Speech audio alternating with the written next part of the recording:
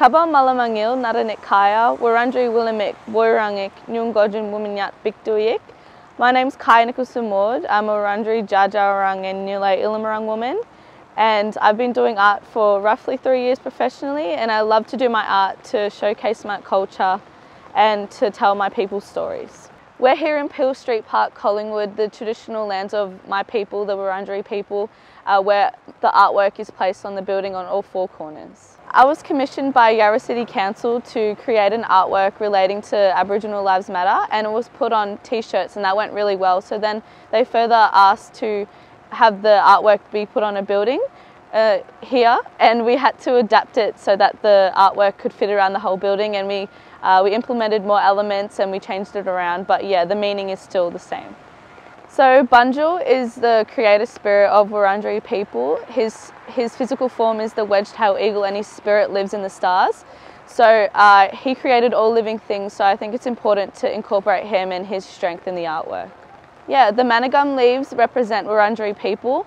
Uh, we use the manna gum leaves to cleanse and do smoking ceremonies and it symbolises cleansing of, spirits and uh, welcoming people onto country. And when we dance as well, we sweep the ground with the gum leaves to represent cleansing. And manna gum, uh, Wurundjeri actually are the manna gum people, so it fits well with um, my people.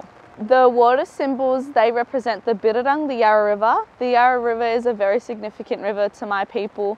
It is the river of mist and uh, it's very important to incorporate that because water gives us life, water is everything. So yeah, it symbolizes also uh, renewal and uh, healthiness and also a positive future. In the middle there's a fist and that fist represents the Black Lives Matter movement and the Aboriginal Lives Matter movement.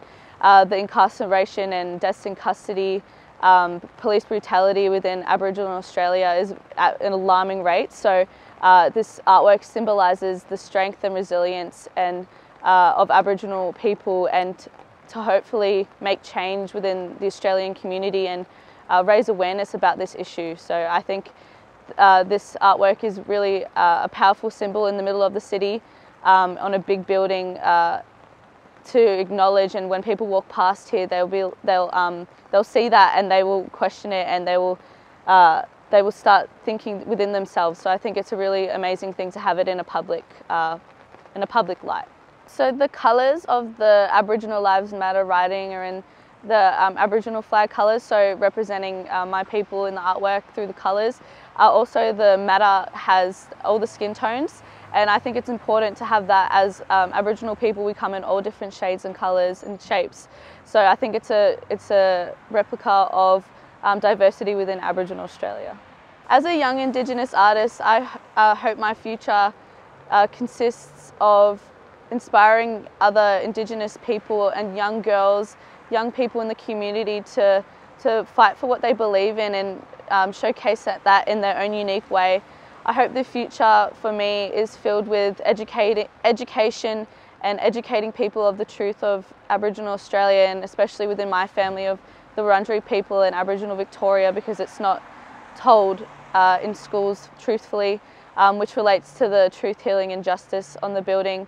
Um, healing is really important part of our community, um, which can only be done if the truth is told and through allies supporting us and helping us educate and get the, the word out there.